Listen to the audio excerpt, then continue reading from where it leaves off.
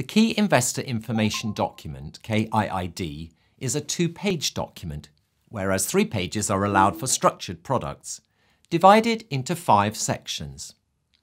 Objectives and Investment Policy. A narrative description of the objectives and investment policy of the fund, including the main targeted investments. Synthetic Risk and Reward Profile. This section includes both a risk indicator and a narrative description explaining how the risk indicator was calculated and any other risks which are not captured by the risk indicator. The calculation of the synthetic risk and reward indicator is itself set down in the rules, with different versions of the calculation for different types of fund. In simple terms, the volatility of the fund, i.e. the variability in its price, is calculated for the last five years and then assigned to one of seven risk classes, one being low and seven being high. Charges. The charges section has to include entry and exit fees and ongoing charges and performance fees, all stated as percentages. Past performance. A bar chart showing 10 calendar years of performance history, where available, must be included. If an investment benchmark is referred to in the Objectives and Investment Policy section, the benchmark performance must also be shown. Practical information.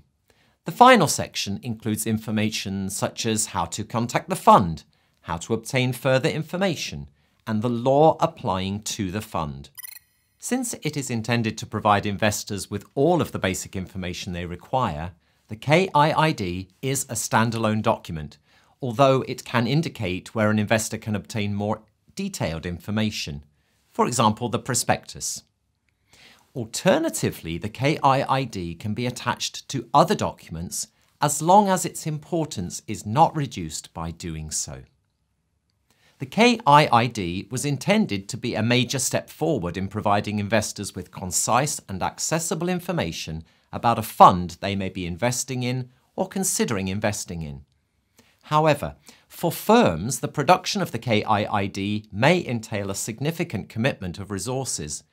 This is particularly the case for larger fund managers, which manage not only a wide range of funds, but also multiple classes of shares within each fund, since the rules governing the KIID mean that, in most cases, it is necessary to produce a separate document for each share class.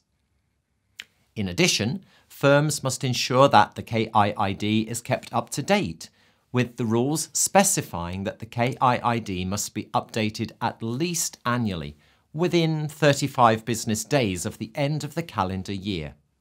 This must include the updating of the performance data, the KIID must also be updated if there is a change to the synthetic risk and reward indicator value over a four-month period, i.e. a change in the fund's risk profile or any change to the name, charges, benchmark or investment objective of the fund.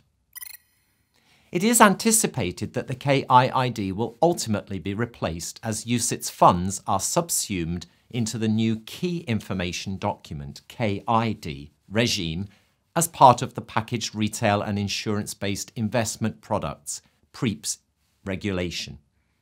However, UCITS funds have an exemption which means that the change will not come into effect until the end of December 2019.